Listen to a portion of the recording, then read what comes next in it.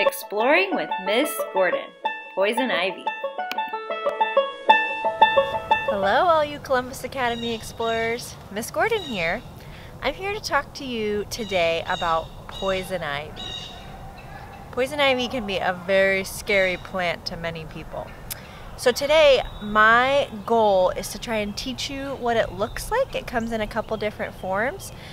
So that way you can identify it and not be so scared about being out in the woods here at Academy when you go out exploring on Forest Fridays. So the first form we're going to talk about for poison ivy is when it grows and it has green leaves. And we all know, hopefully you guys know, that poison ivy has three leaves. So if you see a plant that has three leaves growing on it, often people say, if it has leaves of three, let it be. And I agree, but there are also a lot of plants that have three leaves growing on it. So we're gonna look at some poison ivy around Academy and you guys are gonna hopefully learn some of the small differences that poison ivy has to, that help us to know what makes it different from other plants that are a lot safer to be around. All the plants in this picture are poison ivy. What do you notice?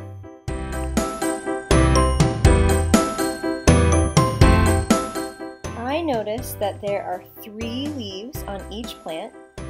Two of the leaves are close together, and then the third leaf tends to droop forward and down. I also notice that the edges of the leaf are jagged in some areas. Here's another photo of poison ivy. What do you notice here? It is fall here at Columbus Academy, so just like the leaves on the trees are changing, poison ivy leaves also change color. So I noticed that there are green, red, yellow, and even purple leaves on these poison ivy plants. It's pop quiz time! Can you tell which plant in this photo is poison ivy? If you guessed the plant on the left, you are correct. How about this picture? Can you tell which plants in this photo are poison ivy? If you guessed both the yellow and the red plants, you are correct. Here's the last picture, and it is probably the trickiest. There is one poison ivy plant in this photo. Can you tell which one it is? You thought it was the green plant, you are correct. The next form of poison ivy we're going to talk about is when it grows as a vine. And luckily the vine is really easy to identify because it has all these little hairs growing on it. And they tend to be atta attached to really big trees. So I know it's tempting that sometimes when you see a really big tree, you just want to go up and hug it. But you have to be careful with poison ivy to make sure to look all the way around the tree. And if you see a hairy vine, probably don't hug that tree. Here is one of those hairy vines I was telling you about.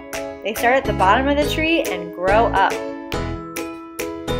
Hairy vines are really cool to check out, but definitely keep your distance if you don't want an itchy rash.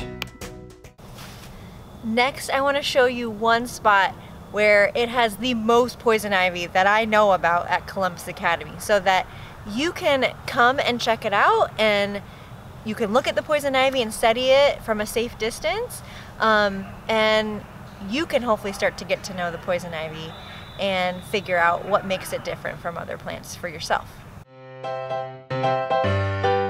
The poison ivy in this area is growing right where the forest meets the grass, right along the ground.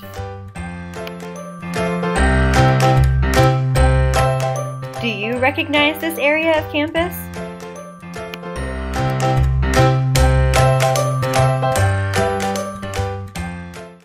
Now that you are a pro at identifying poison ivy, just know that you may still run into it and that's okay.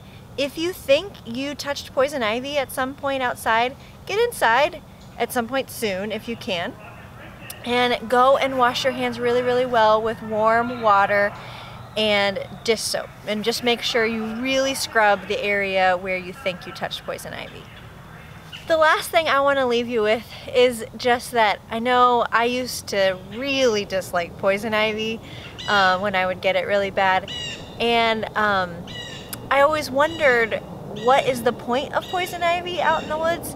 And if you do find one of those hairy vines and the really mature poison ivy um, that grows on those older trees, if you look up, um, especially in the late summer, early fall, you'll see berries on the poison ivy plant. And that poison ivy, again, is very mature and it those berries are actually eaten by our local birds. So it's actually an important food source for the animals that live in our area. So poison ivy is not always quite such a bad thing. Thanks for exploring with me and learning a little bit about poison ivy today.